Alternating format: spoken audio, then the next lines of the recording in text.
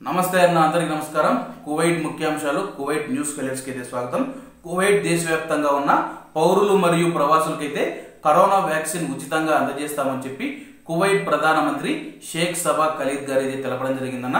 ఈ యొక్క మొదటి బ్యాచ్ వ్యాక్సిన్ వచ్చిన తర్వాత కువైట్లోని ఐదు శాతం జనాభా అయితే రక్షించబడతారని చెప్పి ఆయన అయితే తెలపడం జరిగింది.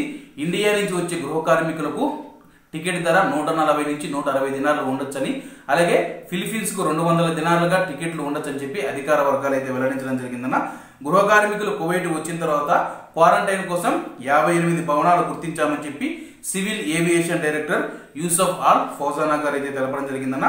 కువైట్ మొబైల్ ఐడి యాప్ ఉపయోగించి తొమ్మిది లక్షల అరవై వేల మంది పైగా అయితే సివిల్ ఐడి సేవలు ఉపయోగిస్తూ ఉన్నారని చెప్పి public authority of civil information అయితే తెలపడం జరిగిందన్న. ఇకపై కువైట్ డ్రైవింగ్ స్కూళ్ళలో మనం చూసుకుంటే శిక్షకుడిగా కువైట్ పౌరుడికి అనుమతిస్తూ కువైట్ ఉప ప్రధానమంత్రి మినిస్ట్రీ ఆఫ్ ఇంటీరియర్ మంత్రి అయిన మంత్రి ఆనస్ ఆల్ సాలే గారు అయితే ఉత్తర్వులు జారీ చేయడం జరిగిందన్న.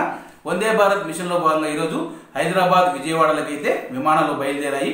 ఎవరైనా సరే మీరు టికెట్లు బుక్ చేసుకోవాలంటే మీ దగ్గరలో ఉన్న ట్రావెల్ ఏజెన్సీలను అయితే సంప్రదించండి అన్న. షెడ్యూల్ రాగానే నేనైతే మీకు పూర్తి వివరాలు అయితే అందిస్తాను. ఖైదాన్ ఏరియాలో నాలుగవ అంతస్తు నుంచి కిటికీలో నుంచి ప్రమాదవశాస్తు కింద పడి ఈజిప్ట్ బాలిక ఐదేళ్ళ ఈజిప్ట్ బాలిక అయితే మృతి చెందడం జరిగిందన్న.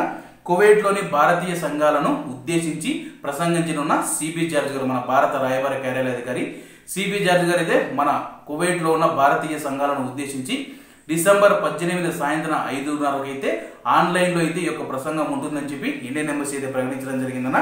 విజిట్ విధాదారులకు ఒక నెల గ్రేస్ పీరియడ్ పొడిగిస్తూ ఉన్నట్లు స్థానిక మీడియాలో అయితే వార్తలు రావడం జరిగిందన్న. ఇంకా ఐదు వేల మంది విజిట్ విజాదారులు అయితే కువైట్ దేశం విడిచి వెళ్ళిపోలేదని.